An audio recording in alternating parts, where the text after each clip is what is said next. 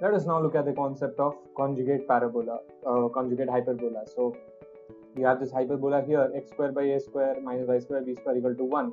Then its conjugate will simply be this 1 will change with a minus sign, right?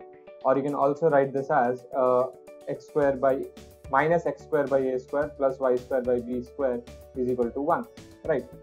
So uh, as you can see, this table shows the difference uh, of the formulas. Uh, so basically, let me first show you how they look. So these are your coordinate axes.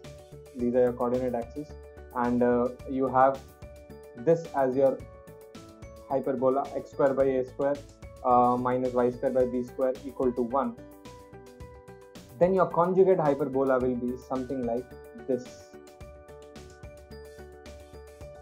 if you can see uh, x square by a square with a negative sign plus y square by b square is equal to 1.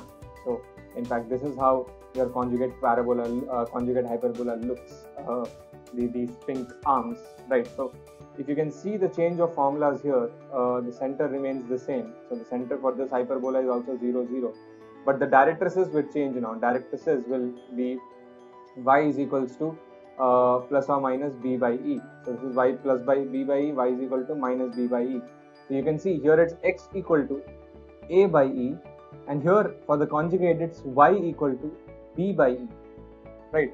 Eccentricity for your original hyperbola is e is equal to under root a square plus b square by a square. Here it's under root a square b square by b square. Right. This is very similar uh, to your ellipse. Right. Where your ellipse for a greater than a greater than b, these were the formulas. For b greater than a, these were the formulas.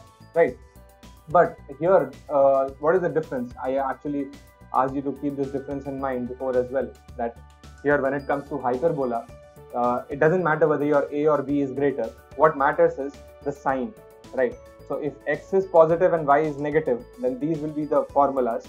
If your x becomes, uh, if your you know this this part becomes negative and this become this part becomes positive, one being the same, then these will be your formulas, right? So here also now it doesn't matter whether your A is greater than B or B is greater than A, the formulas will be this.